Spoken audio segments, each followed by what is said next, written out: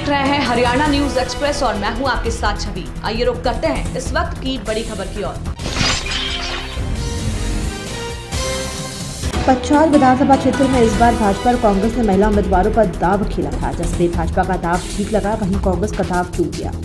इस सीट पर रोचक पहलू ये है कि कांग्रेस के वरिष्ठ नेता रहे गंगूराम मुसाफिर को इस बार पार्टी का टिकट नहीं मिला तो वे निर्दलीय ही चुनावी मैदान में उतर गए और तेरह हज़ार एक सौ सत्यासी मत लेकर कांग्रेस को जीत से दूर कर दिया। पक्षा विधानसभा क्षेत्र में कुल 113 बूथ है, जिसकी मतगणना डिग्री कॉलेज संदाहा में शांतिपूर्ण तरीके से संपन्न हुई। मतगणना के लिए चौदह टेबल लगाए गए थे और मतगणना नौ चरणों में पूरी हुई।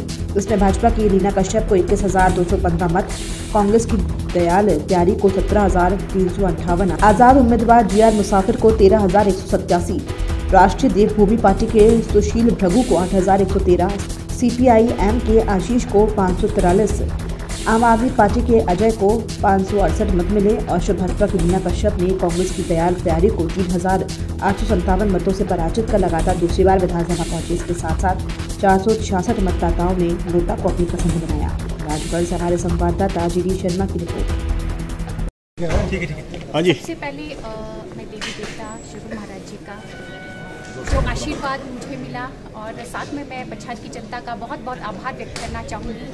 मैं बहुत ही आदरणीय हमारे बुज़ुर्ग युवा साथी, आदरणीय मेरी माताएँ, आदरणीय मेरी बहनें, जिन्होंने भरपूर सहयोग अपना आशीर्वाद एक बारी पुनः मुझे दिया और एक बार पुनः मैं जीत कर विधानसभा जाऊँगी। मैं तहे दिल से बहुत बहुत धन्यवाद करती हूँ और धन्यवाद करना चाहूँगी अपने सभी कार्यकर्ताओं का, जिन्होंने दिन रात एक करके हमारे लिए बहुत मेहनत की। मैं तो कहूँगी, ये जीत मेरी नहीं है, ये जीत हमारे असली कार्यकर्ताओं की है और दिल की गहराई उसमें अपने कार्यकर्ताओं का बहुत बहुत धन्यवाद करती हूँ और धन्यवाद करना चाहूँगी माननीय मुख्यमंत्री जी का, जिन्होंने उपचुनाव में भी मुझे टिकट दिया। एक बार पुनः मुझ पर विश्वास करके, एक बार पुनः पचास से दूसरी बारी भाजपा से मुझे उम्मीदवार बनाया। आज जीत के मैं विधानसभा एक बार पुनः जाऊँगी। मैं शीर्ष नेतृत्व का भी बहुत बहुत धन्यवाद करती हूँ। बहुत बहुत धन्यवाद।